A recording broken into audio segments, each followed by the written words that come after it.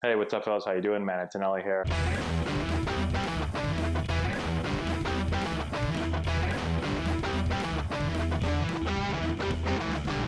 Hey, what's going on, guys? How we doing? Man, Antonelli here. Uh, today we're looking at Aaron Judge's swing. Out of all the players and all the requests I get uh, for Major League players' swings, Aaron Judge is probably number one. I get asked about him almost every day from somebody uh, on Twitter or Instagram or uh, through email. So I want to go through his swing today.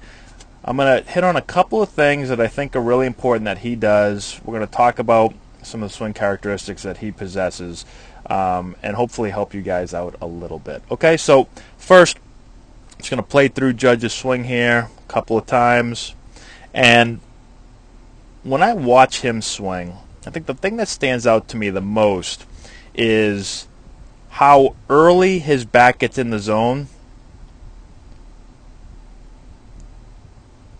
So you can see when he starts to turn, the barrel is really working around him, right? So it, it's it's working back here. It starts to move behind him. It starts to blur quickly, right? So he's creating bat speed right from right when he launches, right from go. The bat's starting to work around him and he gets in the zone. I know it's hard to see because the back kind of blurs out, but he gets in the zone really, really deep. Way back here, he starts to get in. That arrow isn't the best arrow. I meant to be kind of like this. He starts to work in the zone deep. And I've seen him do drills and I've seen him talk about hitting. Um, and that's one of the things he's trying to do. He's trying to get the barrel into the hitting zone as early as he can so he can get on playing with the pitch. And you can see him working slightly up through contact.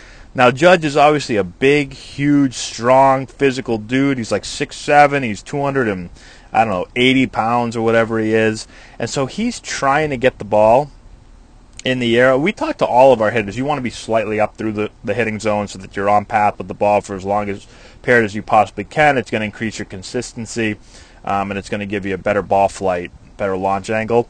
Um, the bigger you are, when you're judge's size, you really want to make sure that you're hitting the ball hard and in the air. Right? And so to do that, you have to do a couple of things. All right? And let's break kind of break those down real quick. The things that stand out to me, okay? So the first thing you're going to see is this really pronounced pullback. And we've talked a lot about the pullback move. It's it's a move that you're going to see in pretty much every elite hitter, every major league hitter as he starts to move forward, he's going to pull back. He's going to use his back and he's going to pull back that way. So you can see this move here again. This is going this way and he's pulling back that way. So now he's used his back. He's loaded his upper body in the position to hip. And what it's going to do, it's not going to allow the upper body. You know, what you see with a lot of youth hitters is they move forward and their upper body wants to go. Their upper body wants to get involved really quickly. Well, when that happens, you end up pushing the bat through the zone. You end up using your chest, and uh, the bat wants to go quickly. You're going to get steep to the ball, and you're going to have kind of a pushy swing. You're not going to have a snappy swing. You're not going to be able to create the allow the bat to work in the zone early. When you pull back you're resisting against this forward move. So one thing it does is it keeps you back a little bit more. So as I'm moving forward, I'm countering that forward move with this pull back with my upper body. Keeps me balanced, keeps me around this back leg a little bit more. It puts me into position so that when I finally do launch the bat, I can work this barrel deep. Okay, just think about it again. If I push my hands forward as I'm striding forward and I launch, the barrel is going to cross more across my chest instead of working behind me right here. All right, so it really puts me in position to launch. So that's a really, really key part of the swing. The other thing is, is he stays in this back hip here for a long period of time. So he's not jumping or leaping to his front side. He's not getting forward.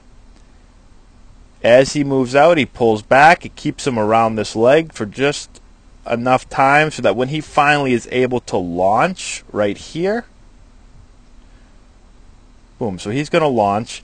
If we kind of draw this line right down through his back hip, you can see the barrel is going to really work around his body and enter the zone on the left side of that line. It's going to enter on this side. Right? Because his leg is going to turn him. But because he's not forward, because he hasn't shifted forward too fast in the, into the lead leg, the barrel turns much, much deeper in the swing.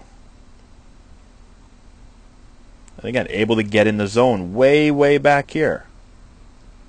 The earlier I'm able to get in, the more I'm able to work on path with the ball. The other thing that you're going to notice that he does is, again, at go,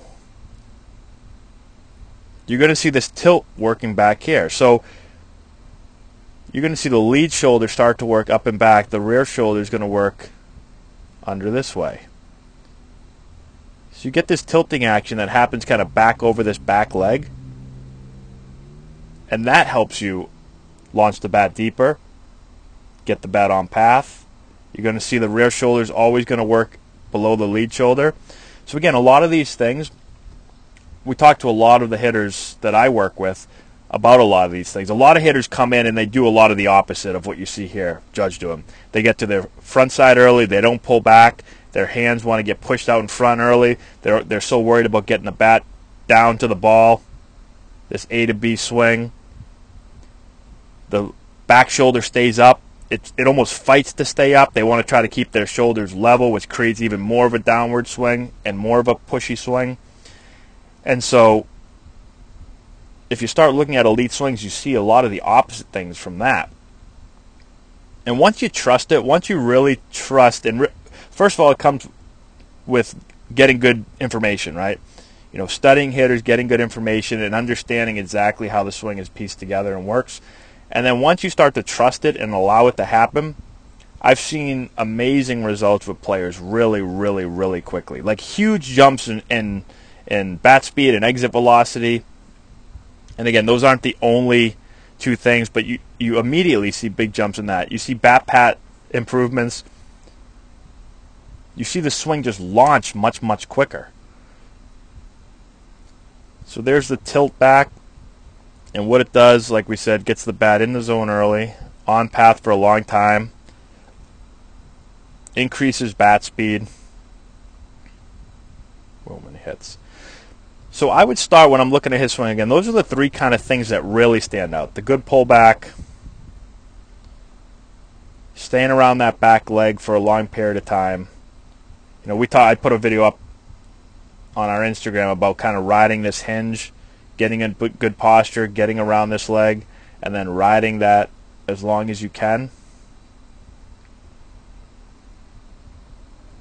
And then that that tilting action where the lead shoulder is going to work up the upper body, you know, the entire upper body is going to work that way.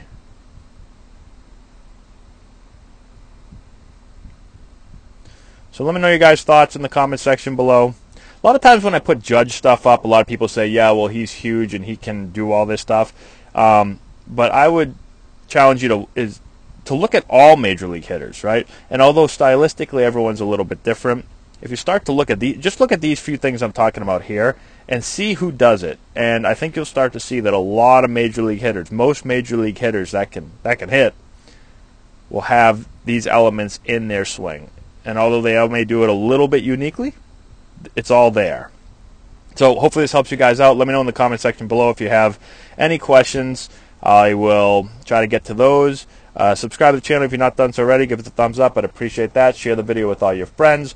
Check out the description box below. We've got a deal going on with Plate Crate. Type in Antonelli, and you will get 50% off your first plate crate. We also have our uh, Patreon page link down there where you can support the channel. We've got a bunch of other stuff that we're recommending as well.